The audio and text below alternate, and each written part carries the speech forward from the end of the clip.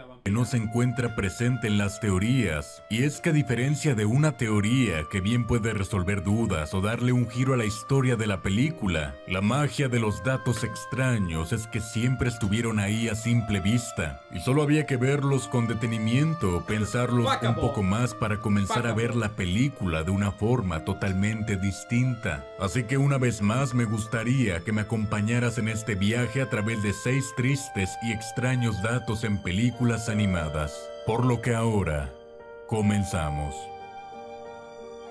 Una monedita para el reseñas que tiene que mantener a su familia. Cuando salió Hola, la volví de la guerra. Hola Boogie, espero que hayas vuelto con bolsa de dinero traídas de un país africano. Secuela de Monsters Inc., una gran mayoría se encontraba un tanto decepcionada, puesto que todos esperábamos una secuela. Pero Monsters University logró demostrar que a Pixar no le salen bien las secuelas, pero sus precuelas pueden incluso superar a las originales. Hace un año, el usuario Thomas Sirac en Reddit fue la primera persona en notar que aunque todos los miembros de Uzmacapa parecen nunca haber sido vistos en la primera película, Thomas demostró que sí, uno de ellos aparece. Cerca del inicio de la cinta podemos ver a Ross leyendo un periódico donde dice que nació un bebé con cinco cabezas, pero fijémonos un momento en la madre. Como podemos ver, esta tiene tres ojos y su hijo, más allá de sus cabezas, también tiene tentáculos en vez de pies. Por lo que teniendo en mente eso, te invito a revisar esta escena de la precuela. Los gemelos Terry estaban bailando con una de las porristas, misma que al igual que la madre también tiene tres ojos, y ellos, al igual que el hijo, también tienen más de una cabeza y tentáculos en vez de pies, por lo que es muy válido pensar que esa noticia habla de ella y del hijo que tuvo con él, mostrando que un día puede ser una de las porristas más populares de la universidad y al otro tener cinco bocas que alimentar. ¡No!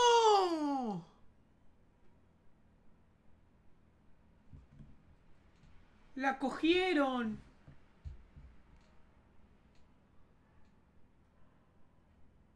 La cogieron, le hicieron la cola.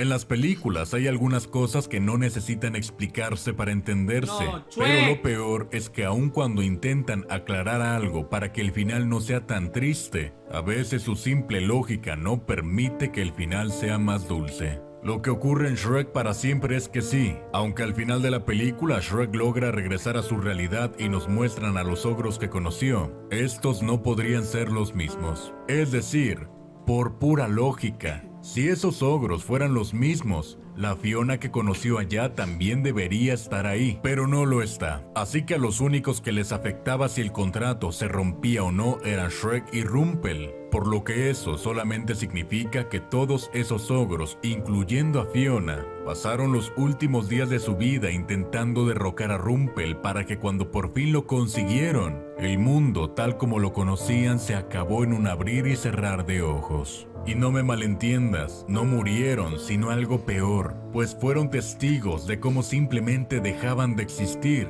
logrando su meta, pero viendo el mundo que querían salvar, desapareciendo. Pero chupame la pija, Chuec. Chupame la pija, Chuec.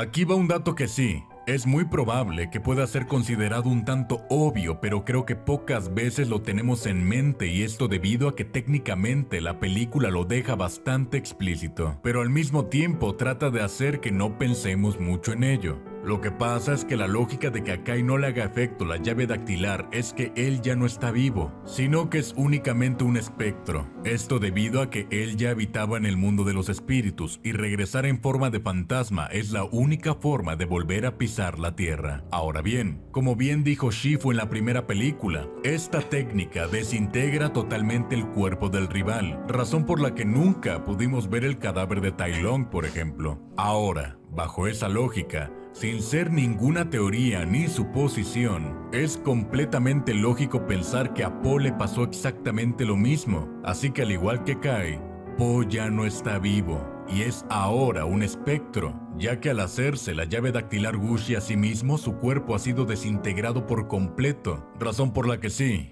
actualmente Poe está muerto.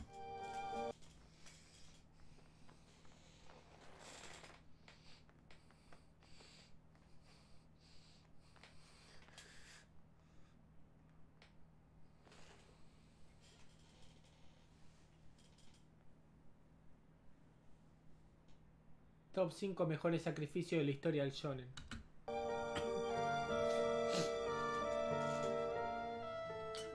Pasemos ahora a otro dato que es más que triste o extraño, un tanto grotesco. De nuevo, no voy a llevar ningún dato fuera de su lugar, sino que únicamente vamos a seguir la lógica que nos muestra la película, y al hacerlo, ocurre esto. En la cinta de Klaus pudimos ver que hay dos bandos principales en el pueblo, pero no hablamos de que se trate como de dos países diferentes como Corea del Sur y del Norte, sino que solamente tenemos a un pueblo dividido. Ahora bien, recordemos que aun siendo un pequeño pueblo, esto no significa que haya mucha variedad, sino que todos comparten las mismas características físicas, teniendo todos el pelo negro de un lado y todos los demás siendo pelirrojos.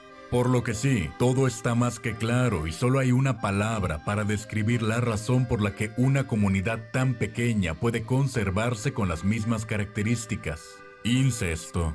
Esto explicaría perfectamente por qué algunos integrantes parecen padecer de sus facultades mentales. ¡No! Y también da razón a cómo han logrado mantener durante tantos años sus mismas características físicas en un pueblo que no crece. Pues por pura lógica, no hay ninguna otra cosa que lo explique más que precisamente el incesto.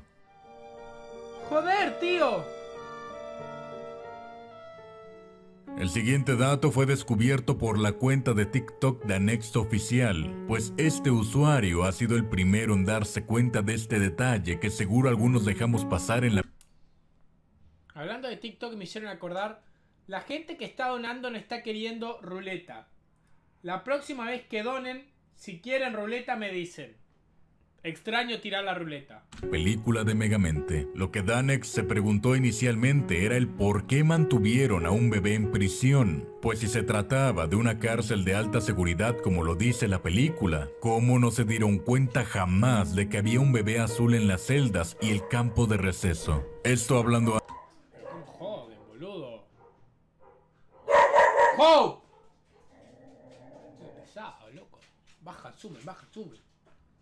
Antes de que Megamente intentara escapar por primera vez. Lo interesante de esto es que tiene total sentido que haya sido completamente a propósito, ya que si se hubiera permitido que Megamente fuera un miembro funcional de la sociedad, a Metroman le pudiera haber pasado directamente lo que ocurrió con Titán, puesto que se habría dado cuenta de que...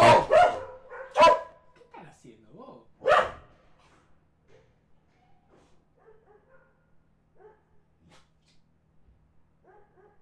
¿Qué hincha bola, vos? era superior a todos, pero gracias a que se generó un villano manteniéndolo siempre recluido, esto le dio un propósito a Metroman, y esa fue la razón por la que jamás se puso en contra de la gente, pues siempre se de encontraba... puta, no me ponga la imagen toda borrosa, así que me vas a hacer hecha, me vas a hacer poronga los ojos. La concha de la madre. Mirá la imagen como me la pone.